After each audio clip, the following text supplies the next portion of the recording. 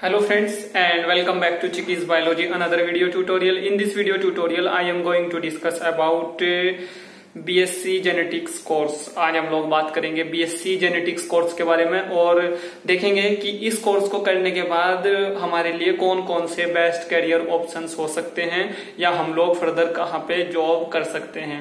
तो फ्रेंड्स आप लोगों को क्या करना है? आप लोगों को इस वीडियो को स्टार्टिंग से लेकर एंड तक देखना है। इस वीडियो को आप लोगों को बिल्कुल भी स्किप नहीं करना है, क्योंकि जो इंपोर्टेंट एंड क्रुशियल पॉइंट्स यहाँ पे मैं आप लोगों के साथ में डिस्कस करूँगा, उन सभी इंपोर्टेंट एंड क्रुशियल पॉइंट्स को आप लोग स्किप कर देंगे अगर आप लोग इस वीडियो को स्टार्टिंग से लेकर एंड तक नहीं देखते हैं। तो फ्रेंड्स आप लोगों को इस वीडियो को स्टार्टिंग से लेकर एंड तक देखना है। तो हम लोग स्टार्ट करते हैं।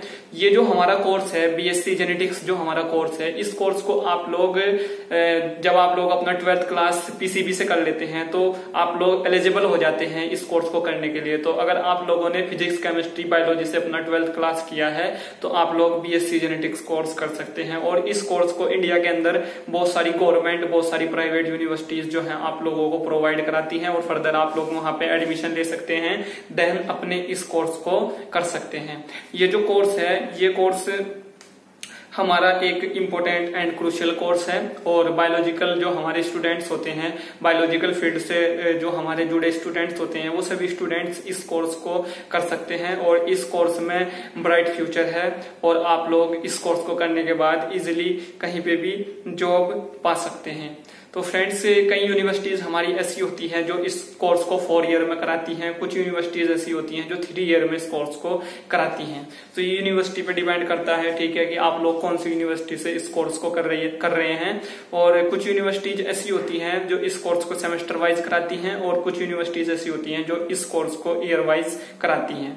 तो फ्रेंड्स अब हम लोग बात करते हैं some specialise fields for genetics ठीक है बीएससी जेनेटिक्स को अगर आप लोगों ने ये कोर्स कर लिया है तो आप लोगों के लिए कौन कौन सी स्पेशलाइज फील्ड्स हैं, उनके बारे में हम लोग डिस्कस कर लेते हैं।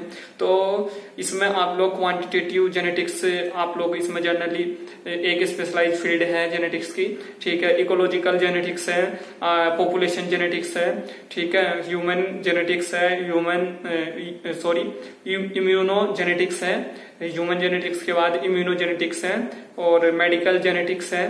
नेक्स्ट हमारा क्लासिकल जेनेटिक्स है। नेक्स्ट मोलिकुलर जेनेटिक्स है। तो ये कुछ स्पेशलाइज्ड एक तरह से फील्ड्स हैं जो हमारा जेनेटिक्स के साथ में जुड़ी है। तो बीएससी जेनेटिक्स अगर आप लोग कोर्स कर लेते हैं तो इन सम स्पेशलाइज फील्ड्स में आप लोग वर्क कर सकते हैं। फ्रेंड्स स्पेशलाइज फ़ील्ड जो है, या स्पेशलाइजेशन आप लोग तब ले सकते हैं किसी भी फ़ील्ड में, अगर आप लोग उस कोर्स से रिलेटेड आप लोग एमएससी कोर्स कर रहे हैं।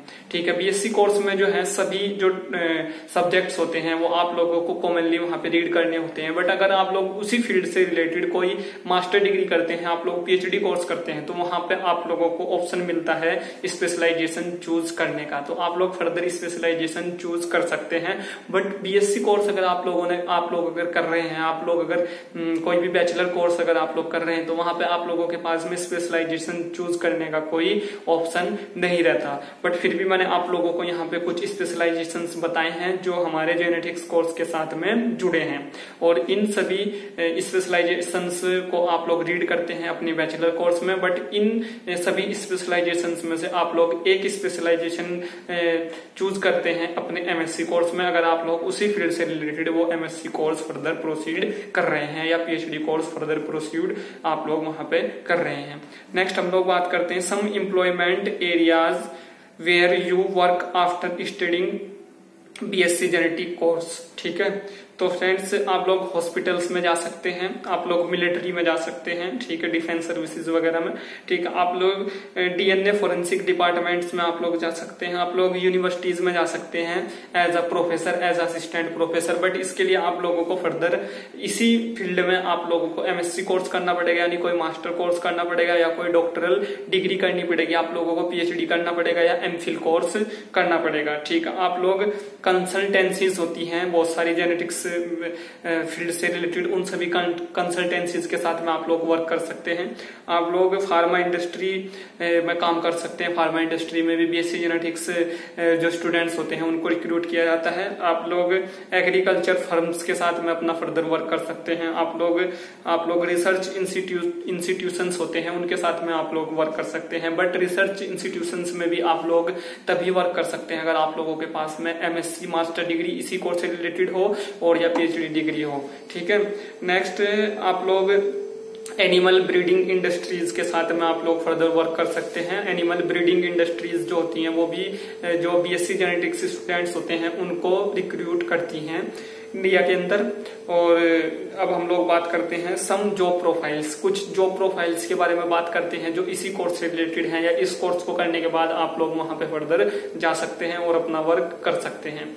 तो फ्रेंड्स, जेनेटिक्स लैब टेक्नीशियन आप लोग बन सकते हैं। ठीक है, इस कोर्स को करने के बाद आप लोग क्लिनिकल जेनेटिक्स आप लोग बन सकते हैं। ठीक है, आप लोग रेगुलेटरी प्रोसेस मैनेजर आप लोग बन सकते हैं इसी फ़ील्ड में। आप लोग बायोटेक सेल्स इंजीनियर बन सकते हैं इसी फ़ील्ड में, ठीक है? आप लोग कंसल्टेंट बन सकते हैं इसी फ़ील्ड में जेनेटिक्स फ़ील्ड में। आप लोग म्यूज़ियम एजुकेटर बन सकते हैं। आप लोग फार्मास्यूटिकल्स में जा सकते हैं, ठीक है। आप लोग सीनियर साइंटिफिक ऑफिसर बन सकते हैं genetics course BSc genetic course को करने के बाद। आप लोग प्रिंसिपल प्लांट ब्रीडर बन सकते हैं। आप लोग चैनल एनेबलमेंट स्पेशलिस्ट आप लोग बन सकते हैं, ठीक है। आप लोग डेटा स्पेशलिस्ट बन सकते हैं एडवांस एनालिटिस्ट एनालिटिस्ट में, ठीक है। सॉरी और आप लोग नेक्स्ट टेक्निकल सॉल्यूशन मैनेजर बन सकते हैं इसी फ़ील्ड में, ठीक है? और इंडिया के अंदर जनरली जो सैलरी होती है, इस कोर्स को करने के बाद वो होती है बीस हज़ार से पच्चीस हज़ार। आप लोगों को स्टार्टिंग में बीस हज़ार से पच्चीस हज़ार पर मंथ यहाँ पे मिलता है। अगर आप लोग किसी अच्छे रेपुटेटेड जगह पे आप लोगों को जॉब मिल जाती है तो तो फ्रेंड्स अब हम लोग बात करते हैं कुछ टॉप रिक्रूटर्स के बारे में। यानी जो इंडिया के अंदर टॉप रिक्रूटर्स हैं, जो इस कोर्स को करने के बाद स्टूडेंट्स को रिक्रूट करते हैं तो हम लोग बोलते हैं टॉप रिक्रूटर्स उनको। तो टॉप रिक्रूटर्स जो यहाँ पे हैं, वो ये हैं एम्स जो है टॉप रिक्रूटर है बीएससी जेनेटिक्स स्टूडेंट्स का। ठीक है टाटा मेमोरियल सेंटर भी एक टॉप रिक्रूटर के तरह यहाँ पे आता है। और Indian Indian society of cell biology भी टॉप रिक्रूटर्स में है। और B BCS in silico biology भी टॉप रिक्रूटर्स में है इस कोर्स को करने के बाद। तो अगर आप लोगों ने बीएससी जेनेटिक्स कोर्स कर लिया है और आप लोग जॉब करना चाहते हैं तो आप लोग इन सभी जो टॉप रिक्रूटर्स हैं, यहाँ पे आप लोग फर्दर अपना रिज्यूमे सेंड कर सकते हैं, या यहाँ पे आप लोग कांटेक्ट कर सकते हैं। और अगर आप लोग इसी फ़ील्ड में फर्दर आगे हायर एजुकेशन में जाना चाहते हैं तो आप लोग एमएससी जेनेटिक्स कोर्स कर सकते हैं, आप लोग पीएचडी जेनेटिक्स कोर्स कर सकते हैं। और कहाँ से आप लोग ये सभी कोर्स कर सकते हैं? कौन से हमारे टॉप जो इंस्टीट्यूशन हैं, जो जेनेटिक्स कोर्स को कराते हैं बीएससी एमएससी और पीएचडी उस पर हम लोग अपने नेक्स्ट वीडियो में डिस्कस करेंगे। करेंगे और हम लोग अपने नेक्स्ट वीडियो में यही बताएँगे कि इंडिया के अंदर कौन से हमारे टॉप जो जेनेटिक्स कोर्स कराते हैं इंस्टीट्यूशन वो कौन से हैं? तो अगर आप लोग चाहते हैं कि मैं फ्यूचर में भी आप लोगों को ऐसी वीडियोस प्रोवाइड कराता रहूँ तो प्लीज़ फ्रेंड्स मेरे चैनल को सब्सक्राइब करना न भूलें और इस वीडियो को ज़्यादा से ज़्यादा शेयर करें, ज़्यादा से ज़्यादा लाइक करें और इस वीडियो को अपने फ्रेंड्स को शेयर करें, अपने क्लिक्स को सेंड करें, अपने जूनियर्स को सेंड करें। So thank you friends thank you for watching